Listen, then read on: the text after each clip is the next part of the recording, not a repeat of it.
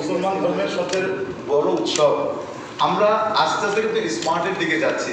এই যে এগুলো কিন্তু একটা কিন্তু মেসেজ যে আগে আমরা ক্যাশ টাকা নিয়ে যেতাম, এখন আমরা যাচ্ছি না।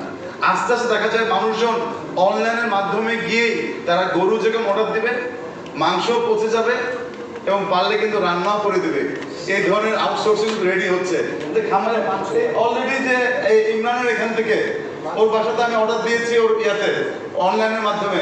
আমার অনেক আত্মীয় স্বজন ওদের পরিবারের এখন এই মুহূর্তে দে ডোন্ট ওয়ান্ট ইট অনেকের ফ্যামিলির অনেকে আছে, বাচ্চারা কোরবানি পছন্দই করে না বাট মাংস খেতে কিন্তু পছন্দ করে। সুতরাং ওদের জন্য কিন্তু এই ধরনের সার্ভিস হয়ে যাচ্ছে এবং ভবিষ্যতে আমরা এগিয়ে যাব, দেশ আগে যাবে মাননীয় প্রধানমন্ত্রীর নেতৃত্বে। আমি যখন প্রথম পশুর হাট যখন শুরু করলাম, দুই হাজার একুশ সালে করোনার মধ্যে তখন কিন্তু আমাদের প্রথম অবস্থায় কিন্তু এত বেশি কিন্তু ভালো ব্যবসা আমরা করতে পারি নাই। কারণ আমাদের সবাই জানতে জানতে কিন্তু সময় লাগছে। এখন কিন্তু এই যে আজকে আমাদের সাংবাদিক ভাই বোনরা আছে, তোমরা যারা আছো, তোমরা তো আজকে এটা প্রচার করবা। যখন প্রচার হবে, জনগণ কিন্তু জেনে যাবে। প্রচারেই কিন্তু প্রসার।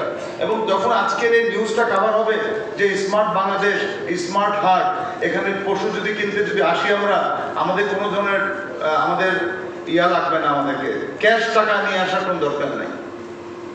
ক্যাশ টাকাটাই তো সবচেয়ে বড় চ্যালেঞ্জ আমাদের, দরকার নেই। এবং আমাদের খামারি যারা আছে, ওদেরও কিন্তু অ্যাকাউন্টস অ্যাকাউন্টস হয়ে গেছে দশ হাজার খামারির অ্যাকাউন্টস খুলে ফেলা হয়েছে।